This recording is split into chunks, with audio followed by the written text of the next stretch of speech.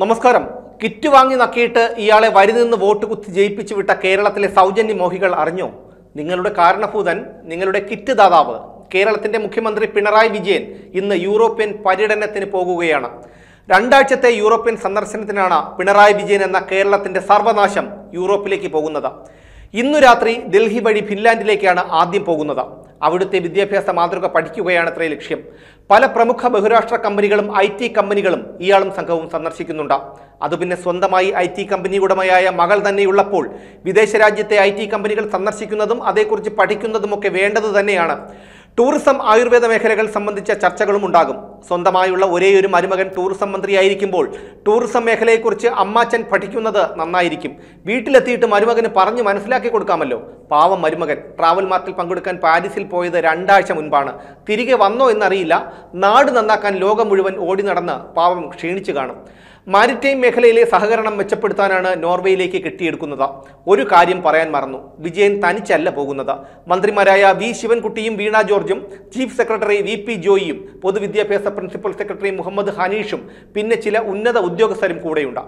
വിജയനും കൂട്ടരും നോർവേയിലെത്തുമ്പോൾ മന്ത്രിമാരായ പി രാജീവും വി അബ്ദുറഹ്മാനും ഒപ്പം ചേരും. നോർവേയിൽ നിന്ന് അടുത്ത വിടൽ ബ്രിട്ടനിലേക്കാണ്. അവിടെ വെയിൽസിലെ ആരോഗ്യ മേഖലയെക്കുറിച്ച് ചർച്ച നടത്തും. ലണ്ടനിൽ ലോക കേരള സഭയുടെ പ്രാദേശിക യോഗം സംഘടിപ്പിക്കുന്നുണ്ട്. എവിടെയും കാണുമല്ലോ വിവരദോഷികളായ കുറേ മലയാളികൾ. ഇവരൊക്കെ പൊതുജനങ്ങളുടെ നികുതി പണവും മുടിച്ച് വിമാനം കയറി അങ്ങോട്ട് വരുമ്പോൾ ചീഞ്ഞ തക്കാളിയും ചീമുട്ടയും കൊണ്ട് അഭിഷേകം ചെയ്യുന്നതിനു പകരം മാലയിട്ട് സ്വീകരിക്കാനും കൂടെ നിന്ന് ഫോട്ടോ എടുക്കാനും മത്സരിക്കുന്ന മലയാളികളെ വിവരദോഷികൾ എന്നല്ലാതെ പിന്നെ എന്താണ് വിളിക്കേണ്ടത്? കേരളത്തിൽ ഗ്രാഫിൻ പാർക്ക് സ്ഥാപിക്കുന്നതുമായി ബന്ധപ്പെട്ട് യു കെയിലെ സർവകലാശാലകൾ സന്ദർശിക്കുകയും ധാരണാപത്രം ഒപ്പിടുകയും ചെയ്യുമത്രേ. കേരളത്തിൽ ഗ്രാഫീൻ പാർക്ക് സ്ഥാപിക്കുന്നതുമായി ബന്ധപ്പെട്ട് യു കെയിലെ സർവകലാശാലകൾ സന്ദർശിക്കുകയും ധാരണാപത്രം ഒപ്പുവയ്ക്കുകയും ചെയ്യുമത്രേ. കേരള ഡിജിറ്റൽ സർവകലാശാല പ്രതിനിധികളും വിജയനോടൊപ്പം തൂങ്ങിപ്പോകുന്നുണ്ട്. ലണ്ടനിൽ പ്രാദേശിക വ്യവസായികളെ പങ്കെടുപ്പിച്ചുകൊണ്ട് നിക്ഷേപ സൗഹൃദ സംഗമം നടത്തുന്നുണ്ട്. എന്താണ്? നിക്ഷേപ സൗഹൃദ സംഗമം. വ്യവസായ മന്ത്രി പി രാജീവും ഈ സംഗമത്തിൽ പങ്കെടുക്കുന്നുണ്ട്. വിദേശത്ത് പോയി കഷ്ടപ്പെട്ട് പണിയെടുത്തുണ്ടാക്കി കൊണ്ടുവന്ന സമ്പാദ്യം കേരളത്തിൽ നിക്ഷേപിച്ച ആന്തൂരിലെ പാർത്ഥ കൺവെൻഷൻ സെന്റർ ഉടമ പാറയിൽ സാജനെ പോലെയുള്ള പല നിക്ഷേപകരും ഇപ്പോൾ മണ്ണിനടിയിൽ അന്ത്യവിശ്രമം കൊള്ളുകയാണ്. ഈ വാർത്ത കാണുന്ന ലണ്ടനിലെ നല്ല മനസ്സും മനുഷ്യത്വവുമുള്ള ഏതെങ്കിലും ഒരു മലയാളി ആന്തൂരിലെ സാജന്റെ കാര്യം പ്രാദേശിക വ്യവസായികളായ ആ സായിപ്പന്മാർക്ക് ഇംഗ്ലീഷിലാക്കി ഒന്ന് പറഞ്ഞു കൊടുക്കണം. അപേക്ഷയാണ്. ഒക്ടോബർ പതിനാലിന് മടങ്ങിയെത്തൂ എന്നാണ് ആദ്യം പറഞ്ഞിരുന്നതെങ്കിലും രണ്ടു ദിവസം മുൻപ് അതായത് പന്ത്രണ്ടാം തീയതി മടങ്ങിയെത്തുമെന്നാണ് വിജയൻ കഴിഞ്ഞ മന്ത്രിസഭാ യോഗത്തിൽ പറഞ്ഞത്. പാപം കരുതലുള്ള മനുഷ്യനാണല്ലോ വിജയൻ. രണ്ടു ദിവസം മുൻപ് തിരിച്ചെത്തിയാൽ അത്രയും പണം ഖജനാവിന് ലാഭിക്കാം. അതാണ് കരുതലുള്ള മനുഷ്യൻ രണ്ടു ദിവസം മുമ്പ് എത്തുന്നത്. ഒരു സന്തോഷ വാർത്ത കൂടിയുണ്ട്. വിജയന്റെ യൂറോപ്യൻ പര്യടനത്തിനിടയിൽ ഇത്തവണ മാധ്യമങ്ങൾക്കായി വീഡിയോ ഫോട്ടോ കവറേജ് ഒരുക്കുന്നുണ്ട്.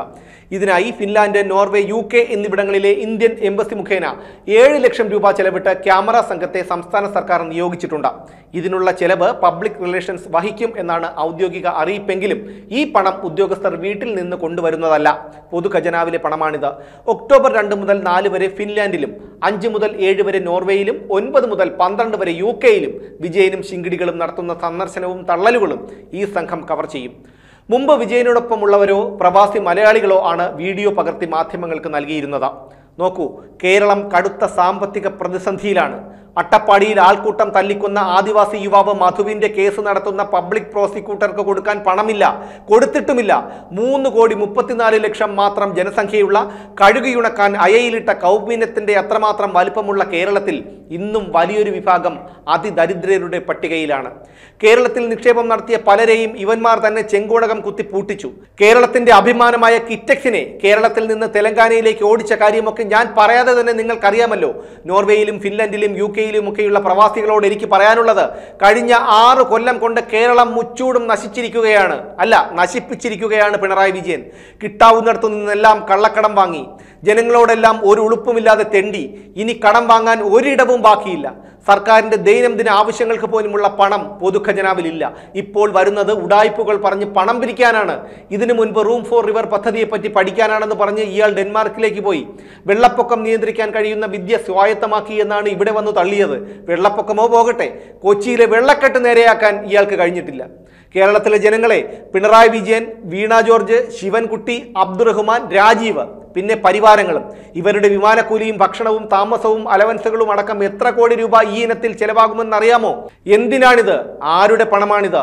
ഇവിടുത്തെ മീൻ വിൽക്കുന്നവനും കടൽപ്പണിക്ക് പോകുന്നവനും കരിങ്കല്ലുടയ്ക്കുന്നവനും എച്ചിൽ പാത്രം കഴുകുന്നവനും ഭിക്ഷ തെണ്ടുന്നവനും ഒക്കെ പൊതുഖജനാവിലേക്ക് ഒടുക്കുന്ന നികുതി പണമെടുത്താണ് ഇയാൾ ഈ ധൂർത്തടിക്കുന്നത് ഇതൊക്കെ കാണുമ്പോൾ എനിക്ക് ഓർമ്മ വരുന്നത്. പണ്ട് സ്കൂളിൽ പഠിച്ചിരുന്ന കാലത്ത് അധ്യാപകർ കുട്ടികളെയും കൊണ്ട് എക്സ്കർഷന് പോയിരുന്നതാണ്. മന്ത്രിസഭയിലെ എല്ലാവരെയും വിമാനത്തിൽ കയറ്റി ഓരോ വിദേശ രാജ്യങ്ങൾ കൊണ്ട് കാണിക്കുകയാണെന്ന് തോന്നുന്നു പിണറായി വിജയൻ. മുഖ്യമന്ത്രിയടക്കം ഈ മന്ത്രിസഭയിൽ ഇരുപത് മന്ത്രിമാരുണ്ട്. അതിൽ അമേരിക്കൻ ചികിത്സയ്ക്കായി പിണറായി രണ്ടു തവണ പോയി. പിന്നെ ഇപ്പോൾ ശിവൻകുട്ടിയും രാജീവും വീണ ജോർജും അബ്ദുറഹ്മാനും അടക്കം നാലു പേർ. ചിഞ്ചുറാണി യു എയിൽ സ്വകാര്യ സംഘടനയുടെ പരിപാടിയിൽ പങ്കെടുക്കാൻ പോയി. മരുമകൻ മുഹമ്മദ് റിയാസും ആർ ബിന്ദുവും പാരീസ് സന്ദർശിച്ചു. അഹമ്മദ് ദേവർ കോവിൽ ഇപ്പോൾ യു എയിലാണുള്ളത്. വി എൻ വാസവൻ പോയത് യു എയിലേക്കാണ് ഓണത്തിന്. ഇനി ഈ മാസം ഒടുവിൽ വാസവൻ ബഹ്റൈനിലേക്ക് പോകും. അബ്ദുറഹ്മാൻ അമേരിക്കയിൽ ചികിത്സയ്ക്കായും മുൻപ് പോയിട്ടുണ്ട്. റോഷി അഗസിൻ ഇപ്പോൾ അമേരിക്കയിലാണ്. അങ്ങനെ ഒന്നര കൊല്ലത്തിനിടയിൽ ഇരുപത് മന്ത്രിമാരിൽ പതിനൊന്ന് മന്ത്രിമാർ വിദേശത്ത് സർക്കിട്ട് അടിച്ചു ഇനി ഒൻപത് പേർ ബാക്കിയുണ്ട്. ഈ വിദേശ രാജ്യങ്ങളിലുള്ള പ്രവാസി സഹോദരങ്ങളോട് എനിക്ക് പറയാനുള്ളത് ജനങ്ങളുടെ പണം ധൂർത്തടിക്കാനായി വികസനത്തിന്റെ പേര് പറഞ്ഞു വരുന്ന ഇതുപോലുള്ളവരെ നിങ്ങൾ അവഗണിക്കണം. ഇവർക്ക് ആതിഥേയത്വം വഹിക്കുന്നതിനേക്കാൾ എന്തുകൊണ്ടും നല്ലത് ഇവിടെ ഓട്ടിസം ബാധിച്ചതും അനാഥരുമായ കുട്ടികളൊക്കെയുണ്ട്. അവർക്ക് ഈ വിമാനത്തിൽ കയറുന്നതും വിദേശ രാജ്യങ്ങളിലെ കാഴ്ചകൾ കാണുന്നതുമൊക്കെ വലിയ സന്തോഷമായിരിക്കും. പൊതുജനങ്ങളുടെ പണം തിന്നു മുടിക്കുന്ന ഇതുപോലുള്ള തുരപ്പന്മാർക്ക് വേണ്ടി മുടക്കുന്ന പണം നിങ്ങൾ അനാഥ കുട്ടികൾക്കും മാനസിക വൈകല്യം ബാധിച്ച കുട്ടികൾക്കുമൊക്കെ വേണ്ടി മുടക്കൂ. ദൈവം നിങ്ങളെ അനുഗ്രഹിക്കും. എന്തായാലും പിണറായി കാലുകുത്തുന്ന വിദേശ രാജ്യങ്ങളിലുള്ളവർ ജാഗ്രത പാലിക്കുന്നത് നന്നായിരിക്കും. വെള്ളപ്പൊക്കം കൊടുങ്കാറ്റ് പ്രളയം ചുഴലിക്കാറ്റ് തീമഴ മണ്ണിടിച്ചൽ ഏത് രൂപത്തിലും ദുരന്തങ്ങൾ വരാം. എന്തായാലും പിണറായി കാലുകുത്തുന്ന വിദേശ രാജ്യങ്ങളിലുള്ളവർ ജാഗ്രത പാലിക്കുന്നത് നന്നായിരിക്കും. വെള്ളപ്പൊക്കം കൊടുങ്കാറ്റ് പ്രളയം ചുഴലിക്കാറ്റ് മണ്ണിടിച്ചിൽ ഏത് രൂപത്തിലും ദുരന്തങ്ങൾ വരാം. എന്തായാലും കേരളത്തിൽ ഇനി തീമഴയും അന്യഗ്രഹ ജീവികളുടെ ആക്രമണവും മാത്രമേ ബാക്കിയുള്ളൂ.